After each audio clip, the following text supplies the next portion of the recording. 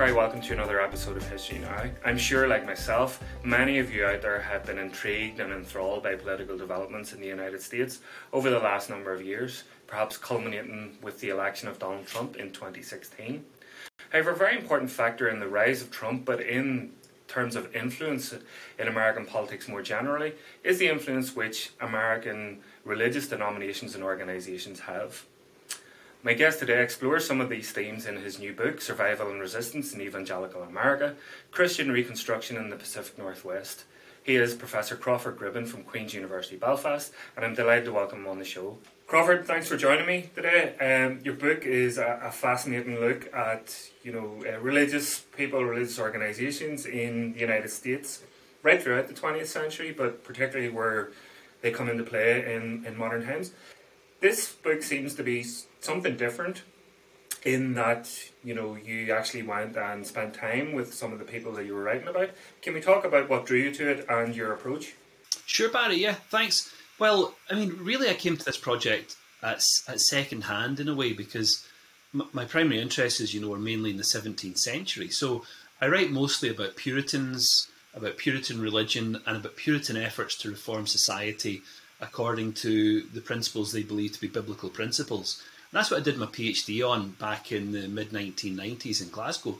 And when I was working on my PhD, I, you know, as I was visiting secondhand bookshops and so on, I stumbled across, literally stumbled across, a pile of magazines called Credenda Agenda, which were being produced by a little community of evangelical Christians up in North Idaho who were trying to repristinate in the 1990s the very ideas, the social theories, the, the principles, and so on that I was reading about being developed in the 17th century. And so it became a really fascinating um, case study, I suppose, or, or, or, a kind of a modern day, a latter day example of, of what these principles could mean or how these principles could be rolled out in American modernity. So that was back in the mid 1990s. Um, I continued my work on 17th century literature and history and always at the back of my mind was was wondering about how this little community had developed, and so I stayed in touch with what was going on there, um, and eventually, um, with the encouragement of my friend Scott Spurlock, who teaches theology at University of Glasgow, but who comes from North Idaho, um, um, I embarked on a, on a road trip, visited lots of these communities, spent time with them, and um, this book that we're talking about today uh, is the result. Yeah, and you know it's it's really well constructed. The book, how you you know you look at it in the present time, but also bring in you know the history, and, and we'll we'll talk a bit about that as the interview goes on. But a, a major theme in this is migration and migration movement. People moving to the Pacific Northwest. Can you talk a bit about the migration movement and why this particular location in, in America is the destination? Migration is a big theme uh, in in this book, and the migration I'm talking about is a migration of political and religious conservatives who are moving from across the United States and even beyond, even from Europe and places further afield, into very specific sites, mostly in the Pacific Northwest, but not exclusively so. Um, but but there in, in these small isolated towns are trying to build up through organic means or, or ordinary everyday means the kind of society that they that they want to live in. So, I mean, one of the big themes in the religious history of modern America has been, you know, the Christian coalition, religious right, the moral majority, all of these, you know, big, large-scale strategic efforts to try to take the White House or get our man in the White House, and of course, you know, the gendered language is not a mistake there. Um, um, but but but these these people are trying to do something very very different. They've more or less given up on national level politics, and instead they, they, they, want to have a much more communitarian uh, focus. So they, they, they, they tend not to gravitate towards big cities. Why would they? Very hard to have any kind of demographic impact in a city like Chicago. But in a, in, in a small town, a college town like Moscow, Idaho, with 20,000 local residents and two major universities within about five miles of the town centre, there's an opportunity there for people with these kinds of values, religious values, political values, strong emphasis on libertarianism, but also strong emphasis on biblical law. Might talk about that later on. Um, there's a real opportunity for people with that kind of worldview to gather in sufficient numbers to make a real impact on that size of a community. And you know that that is what's happening. Um, the migration movement I'm talking about is is very difficult to to quantify. It's been described in the Washington Post. It's been featured in the Economist. Uh, so so it's it's obvious that there is a migration into Idaho. It's driving up property prices and so on. What I'm interested in though is is a very narrow segment of that, which is a migration movement of religious and political conservatives who are really trying to rebuild something um, by essentially Christianizing, as they would put it, uh, Moscow, Idaho, and, and places like that. There's a very long tradition of that type of thing in the United States. You know, going back, you know, a couple of centuries, and I know from previous conversations we've had, we've talked about different sects that do that. Are these people who are in the, you know, the modern migration, are they aware of that sort of, perhaps lineage is the wrong word, but you know, that tradition? Yeah, that's a fascinating question, Barry. Actually, to be honest with you, I never asked anyone that question. Um, but you know, you've, you've, you've provoked it, and, and it, it is a good question.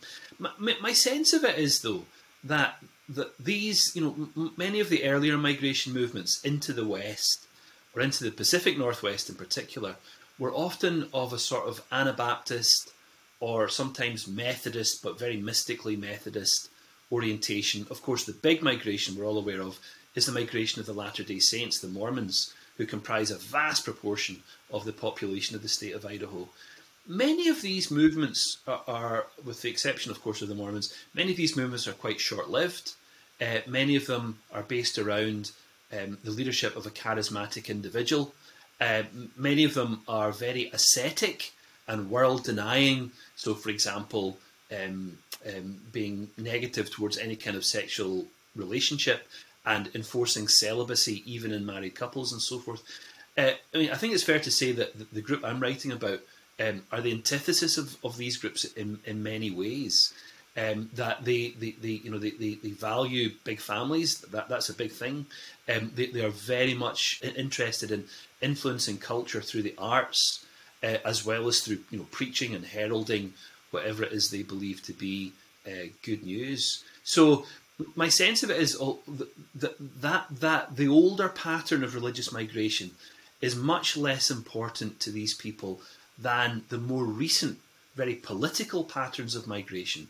For example, um, the the skinheads or the neo Nazis who formed a compound in Hayden Lake, Idaho, just about maybe 30 or 40 miles north. And, you know, when people think about communitarian movements in North Idaho, it tends to be neo Nazis that they think about. And so the group I'm writing about have, have really taken pains to distance themselves from that kind of far right, racist ideology. So, you know, it's it's a mixed race community to the extent that North Idaho is a mixed race place. But but you know they, they have they have spoken, I think, um, quite critically of people who are who also gravitate into these communities who who call themselves kinists.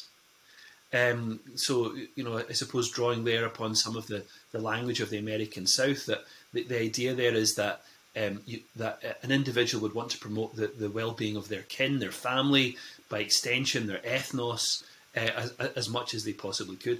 And you know, while, while I think some of these people are moving into these circles, those who are, if you like, thought leaders, to use that really unfortunate kind of language, within these movements um, are, are, you know, explicitly anti-racist. But that's not to say that racists don't find them attractive for other kinds of reasons. And I suppose you have answered this, but I, I want to bring it back because it's in the title of the book and it's Reconstruction. And that's a term that is very historically loaded in the United States in, in terms of uh, the aftermath of the of the Civil War. But can we, you know, address what that means in relation to your research? Well, the, the, way that these people use the word reconstruction is quite different from many earlier uses of the term. So you're right. Obviously, second half of you know the 1860s onwards, um, you know, we, we, talk about this as a period of reconstructing uh, the American South. The, the people I'm writing about have a much much more ambitious agenda, and that is to reconstruct not just their town or their state or the United States of America, but to, to reconstruct the world itself and to reconstruct the world itself upon biblical principles. Now, they get this idea of reconstruction, they get the language of reconstruction from an Armenian Presbyterian minister called R.J. Rushdoony, who was active very active from about the 1960s through to about the end of the 1990s. R.J. Rushdoony, um, his parents had survived the Armenian genocide. They had fled to America. R.J. Rushdoony's big goal, his objective, was to make sure that American Christians would never experience the, the kind of hostility and violence that his parents had endured uh, back in the country from which they had emigrated. And so he set about in the 1960s an incredibly ambitious attempt to, to marry together the libertarian politics that were beginning to gain ground in that, in, in that decade with a, an almost theocratic effort to discover in the pages of the Old Testament the ideal social theory. So, you know, R.J. Rushdoony would, would take very common, very obvious Christian maxims like Jesus Christ is King of Kings and Lord of Lords. And then he would ask himself the question well, what does that mean? That's explicitly political language.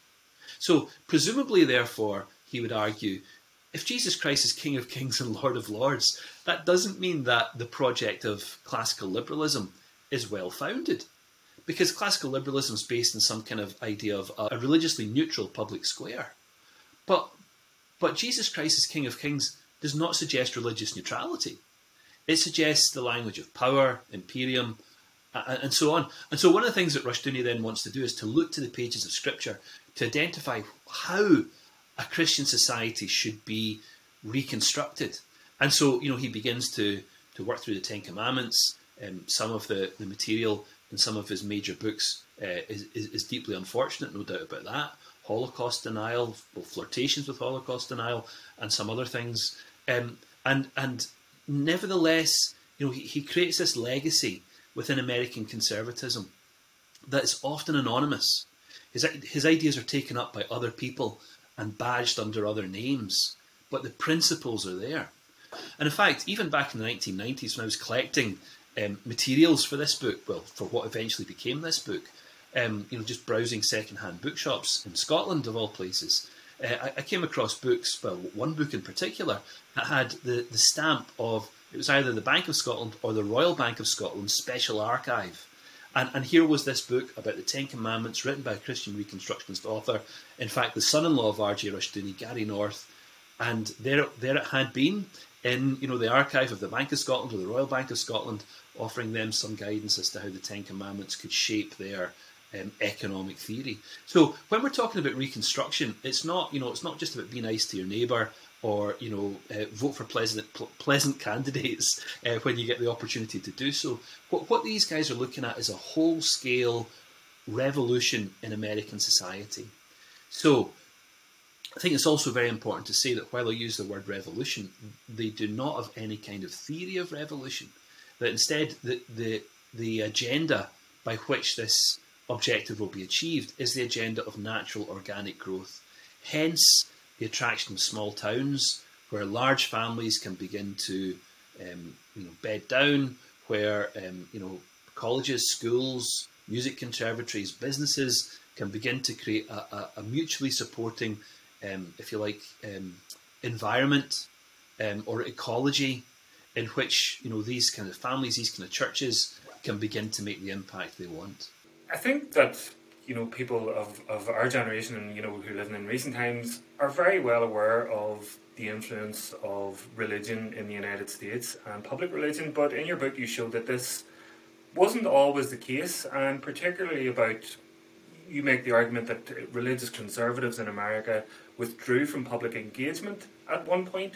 Can we talk about that and how the growth of neo uh, evangelicals in the 1950s and 60s, you know, came back into American society.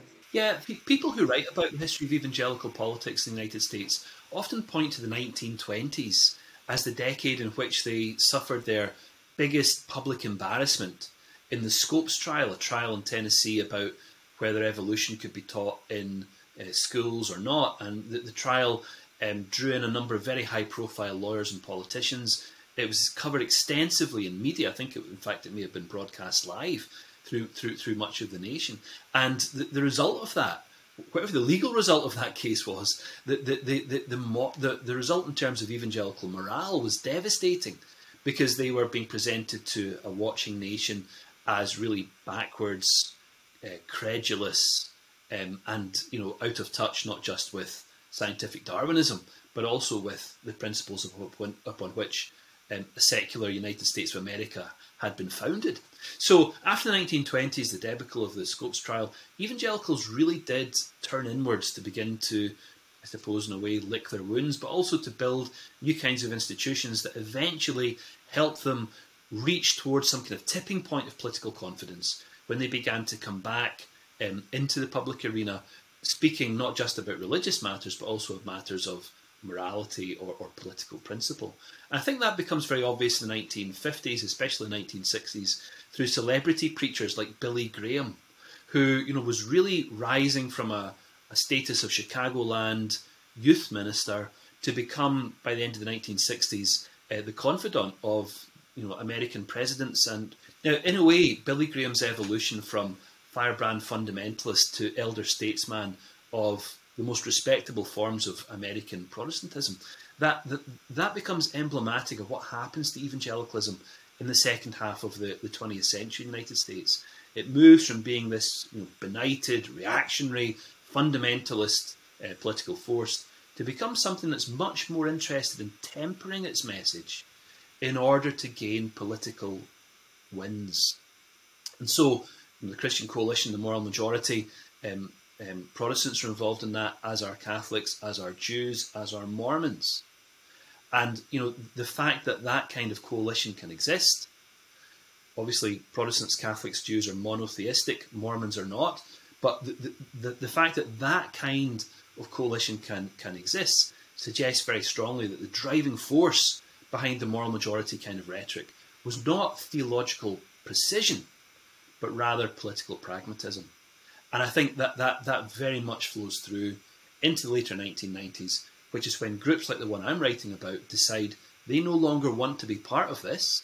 They see these big um, programmatic um, coalitions of religious figures as fundamentally betraying something that they believe is true about their faith.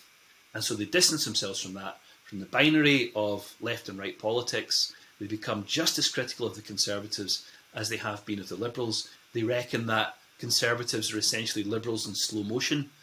All politics is heading in the same direction. Um, some are just happier to go there than others. Uh, and so that they recognise that, they decide to opt out of that and eventually to set up these little communities uh, through which, through non political mechanisms, they expect to begin this reconstruction of the United States.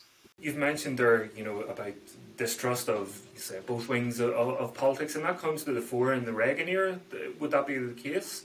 Well, can we talk about a bit about how evangelicals, despite backing Reagan, they found him disappointing? So evangelicals as a whole, I think, um, they, they, they split in the 1970s. A large number of them back Jimmy Carter, 1976 election, becomes an openly evangelical president of the United States, and of course he's a Democrat. He's a Baptist from Georgia. He, he's a Democrat, and he's been born again. And you know, journalists start puzzling. What does this mean? You know, why is the president talking about being born again? So all of that happens in the 1970s. But evangelicals, I think, as a group, get very disappointed with Jimmy Carter because he comes in, obviously, in the immediate aftermath of Roe v. Wade, 1973. And what does he do about it? Well, the answer, of course, is nothing. And in a way, Jimmy Carter's hesitancy to deal with Roe v. Wade and the massive extension of abortion rights in the United States through privacy law. His inability to deal with that deeply frustrates evangelicals, but it also sharpens up their view of what abortion means, the significance of abortion. In the immediate aftermath of Roe v. Wade, Billy Graham had given it a cautious welcome. The Southern Baptist denomination, the biggest Protestant denomination in the United States, deeply conservative, 16 to 20 million people in that period, in membership, also gave it a cautious welcome. But as evangelicals responded to that with the disappointments of Jimmy Carter, they sharpened up uh, and clarified their attitude to abortion. And so by the time the 1980 election came around, they were, you know, almost unified in supporting Ronald Reagan, who was himself another so-called born-again political candidate who was au fait with the latest writings uh, of the, the various prophetic scholars and so forth. And it took a lot of that language into the White House as well.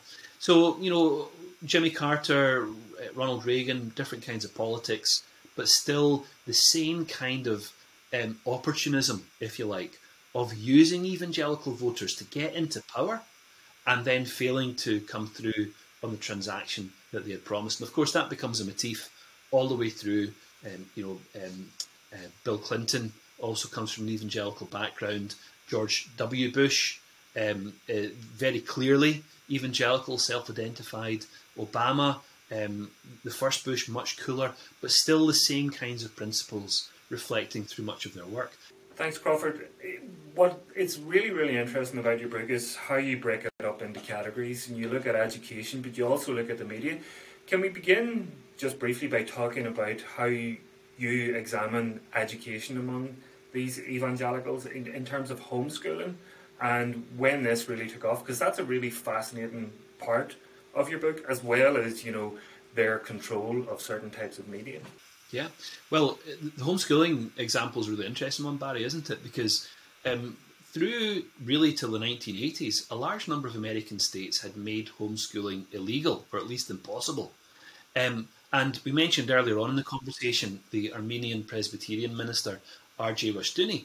And the, the fact that today home education is legal in all 50 American states and is pursued by, by somewhere between, the numbers are difficult to, to establish, but somewhere between 2 and 3 million children uh, is really testament to the extraordinary work that R.J. Rushdoony did in fighting for educational freedom, as he would see it, in this respect. So R.J. Rushdoony was very concerned by statism, the kind of language he would use, by any um, concentration of power in the hands of politicians or administrators. He wanted to devolve this. This is his libertarianism, of course, kicking in. He wanted to devolve responsibility to the lowest level uh, uh, as much as possible.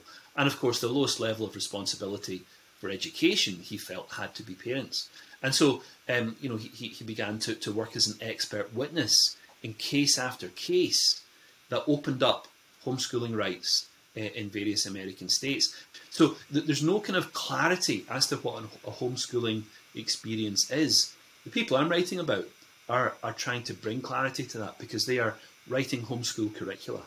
And part of this migration movement into the Pacific Northwest and into North Idaho has resulted in the foundation of quite a number of homeschool curricula providers.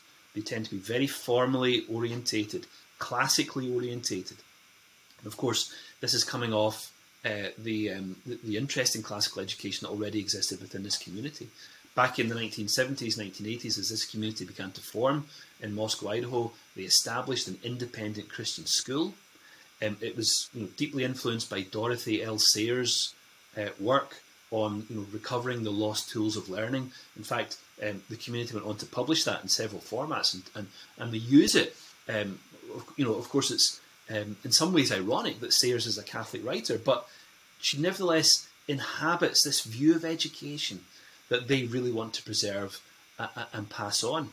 And so, you know, they, they, they, are cultivating this. They then established an association of classical Christian schools. Today, that numbers hundreds of schools uh, as its members, you know, tens of thousands of pupils. And one of its last annual conventions was addressed by Senator Ben Sasse, so, you know, these movements, they have small beginnings, but they have some quite considerable um, outcomes. And I suppose tied with, you know, that is their, you know, control of types of media. When I was looking at the book first, I, you know, automatically you're thinking of, you know, uh, television media, but that's not the case. You, you've got, and you've shown that they have printing presses, they're printing those magazines you find in the bookshop you know that's a very uh, uh, important tool for creating you know a knowledge of the, this worldview that they have and getting their message out.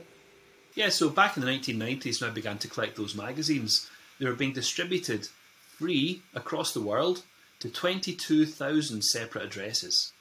Now, that's a major, major financial undertaking, uh, if there ever was one. But from those magazines, um, people within the community set up a printing press at a publishing house called Canon Press. They began to collect articles from magazines, issue them in book form. They'd be focused on things like, I don't know, marriage or child rearing on the one hand. On the other hand, things like um, why you should baptize infants or what will happen at the end of time, you know, all, all, of these kinds of things. So both, you know, practical Christian living and also much more abstruse theological, theoretical works. Um, as time went on, however, people within this community began to springboard past the usual gate, gatekeepers of evangelical media to move instead to publish with major printing houses, major publishing houses, um, and also to work alongside some very considerable co-authors. So one of the chief uh, leaders within this movement I'm writing about is a man called Douglas Wilson. He was he's really been there from the very beginning, and surprisingly, one of the places where Doug Wilson's ideas are most accessible is on his Amazon Prime chat show. So, you know, for, forget the old kind of motifs of gentle Jesus, meek and mild. This is a much more rugged, masculine version of Presbyterian Christianity. Um, for the very first episode of his show on Amazon Prime, a show called Man Rampant, was addressing what he described as the sin of empathy. The sin of empathy. So, Crawford, I know you know we're both involved in historical research. You're much more prolific, and historians, like all of us, can't predict the future. But based on your visits there to them and, and spend time with them, what do you think the future holds for this type of community? Yeah, it's a really interesting question, Barry. I mean, I think the future is really good. I think the future is going to be really good for these people. The reason why I say that is because evangelicalism, to the extent that it exists as an ism, is collapsing in the United States. And it's collapsing because of um, uh, the influence of, let's say, feminist theory or critical race theory.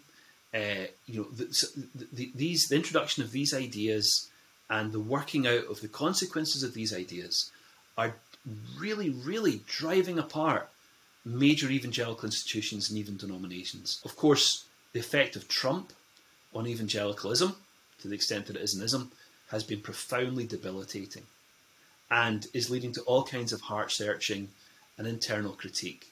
Some of that's really interesting to watch and read. So, as evangelicalism, I think, meltdown experiences a kind of a meltdown and, and continues to hemorrhage members, as also seems to be the case. Small groups like the one I'm interested in, I think, are ideally positioned because they have a generation of clearly articulated argument. They know how to distribute it. They know how to produce it. They know how to get it into high profile places like Amazon Prime. But they can also invite people who feel distressed about the direction of Biden's America. They can also invite people into a fairly culturally homogenous community that's large enough to make sure that there's adequate housing, employment, educational opportunities for their children and for themselves. And so I think they have actually created this virtuous circle that will allow them to continue. Now, of course, there's structural difficulties. A lot of this is built around a small number of charismatic leaders. That's often the difficulty uh, for these kinds of movements. But the group I'm speaking about is only one example.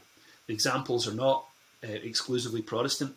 There are Catholic examples that are you know very similar to this of people moving out or dropping out of a kind of religious mainstream because of their discontent about the direction of which they see it heading, to set up much more self-conscious um, communities of faith um, that they can begin to work. So the real, I think, one of the real interesting uh, questions that comes out of this is the extent to which, as the big denominations, as evangelicalism or as you know, the, the American Catholicism begins to collapse, to what extent will these small reactionary groups decide to work together across some of these older religious differences to try to promote the common morality, for example, um, that they often share? And, you know, so we watch and wait and we'll see what happens. Crawford, it's a wonderful book. It's it's fascinating. It, it really, it, I was enthralled in it. And thank you very much for coming on and speaking to me about it. Thanks, Barry.